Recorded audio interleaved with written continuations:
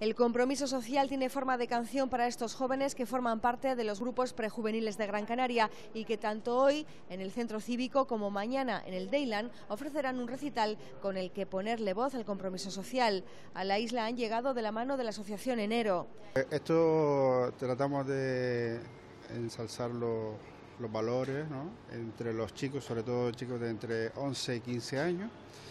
Entonces esto ha funcionado muy bien en Gran Canaria y se ha llevado también a Tenerife.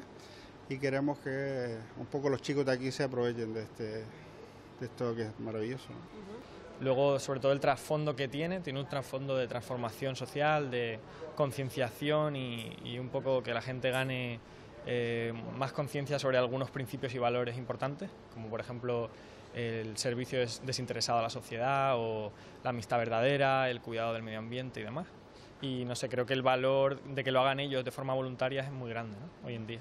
Pues yo creo que es importante porque la edad de los chicos que participan, creo que es una edad muy especial, cuando tú estás tomando decisiones ¿no? que van a marcar el resto de tu vida, es una edad donde hay muchos cambios, ¿no? entonces encontrar un, espacio donde te puedas sentir a gusto, no te, no te sientas juzgado y donde puedas desarrollar tus talentos y tus capacidades para desarrollarte tú mismo y también para mejorar la sociedad. Creo que es súper importante porque al final es el futuro ¿no? de la humanidad. No hay discriminación ahí, son, se acepta a todo el mundo. Y el propósito, el, el, el mensaje, ahora mismo en la sociedad te encuentras que eso no está.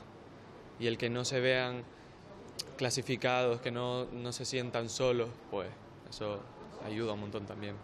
La amistad, la paz, la esperanza en el futuro son algunas de las temáticas de las letras compuestas por niños de barrios que necesitan ser dinamizados para promover en ellos una verdadera integración.